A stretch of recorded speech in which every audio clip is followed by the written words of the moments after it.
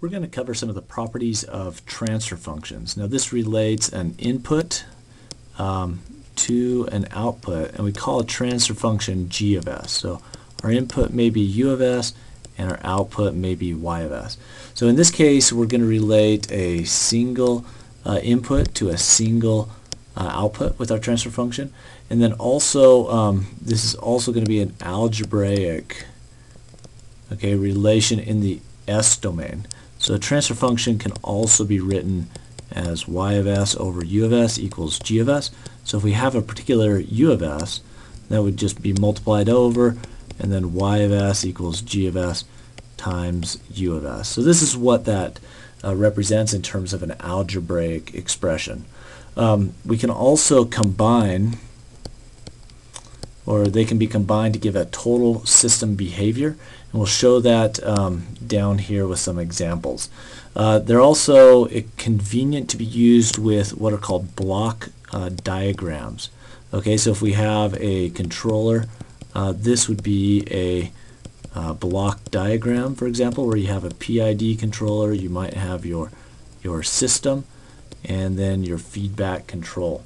Okay, so that'd be a block diagram. They also require uh, the initial conditions to be zero, and uh, we need to use what are called deviation uh, variables. Okay, so deviation variables are required in this case. So let's go on down to our uh, additive property. Um, so this is for parallel processes. Okay, where we have uh, you know two inputs. Um, now this could be U1 of S and U2 of S. I've just labeled those as X1 and X2. Uh, but let's say we had y of s. Okay, so y of s is going to be, in this case, for the additive property, that's just going to equal g1 of s. Um, I'll put the s in there for the y as well, times uh, u1 of s plus g2 of s times u2 of s.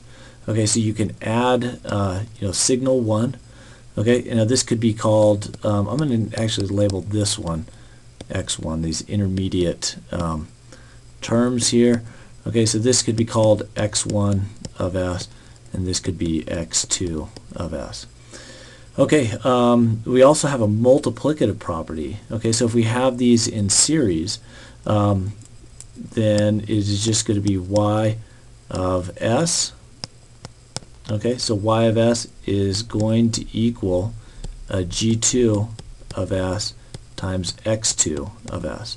But then we also know that x2 of s is going to be equal to g1 of s times x1 of s. Okay, so if I plug that back in here, I can get rid of x2, my intermediate value, and I can have g1 of s times g2 of s times x1 of s.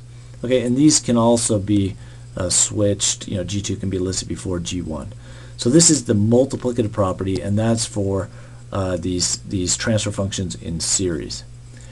Okay, so um, we also know that, um, you know, so as if we have our transfer function G, if we plug in as s approaches 0, okay, um, then that means that this is is going to be the gain. Okay, so that's going to be the gain is um, the result of the limit of g as s approaches 0. Okay, so if I put in at limit s goes to 0 of g of s, that's going to equal the gain of our system. Okay, and for our FOPDT model, that would be k sub p. Okay, but that's only when um, only when the limit exists. Okay. Um, otherwise, you know, if you had infinity or something like that, it, um, you wouldn't be able to calculate the gain.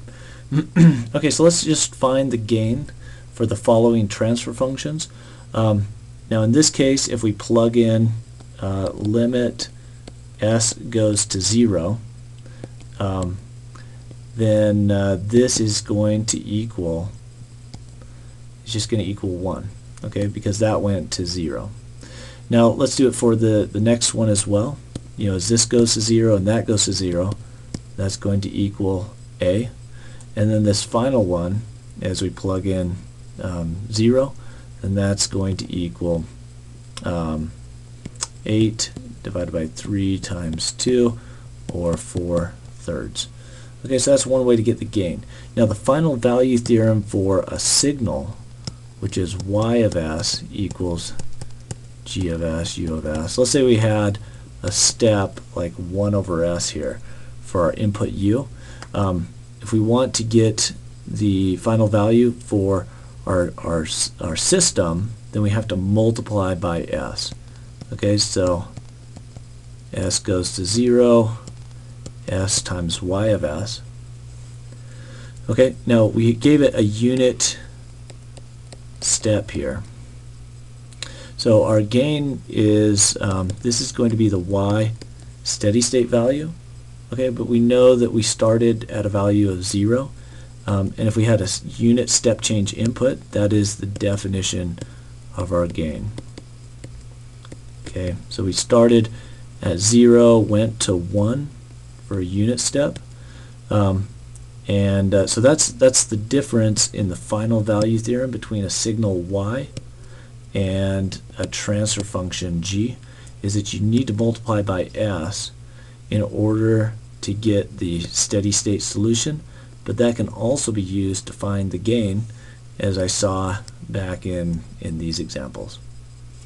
Okay, so that, um, that concludes this brief tutorial on uh, transfer functions. Um, we're going to go into design different values of u of s. Uh, we'll put those through a transfer function g of s and then calculate a response y of s.